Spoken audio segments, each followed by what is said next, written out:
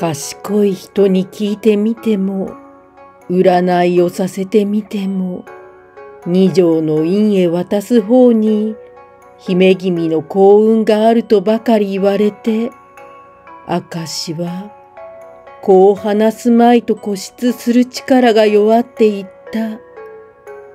源氏も、そうしたくは思いながらも、女の気持ちを尊重して、強いて言うことはしなかった。手紙のついでに、袴着の支度にかかりましたか？